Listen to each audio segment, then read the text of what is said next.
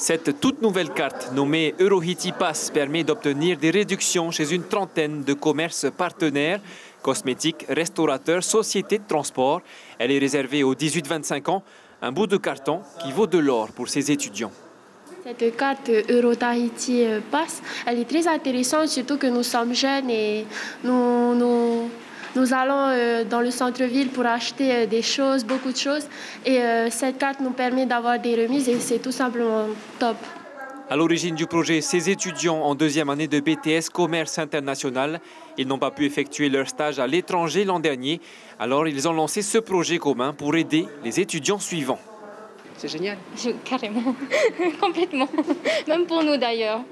Le projet repose sur l'aide européenne Erasmus et pour en bénéficier, les 16 étudiants ont monté leur association. L'association EuroIT a été lancée justement puisqu'on d'un constat, on se rendait compte qu'il y avait peu d'informations sur les dispositifs d'aide européens en Polynésie. L'objectif est de soulever des fonds pour financer leur stage à l'étranger. Ils couvriront les frais de séjour, de transport et de loisirs.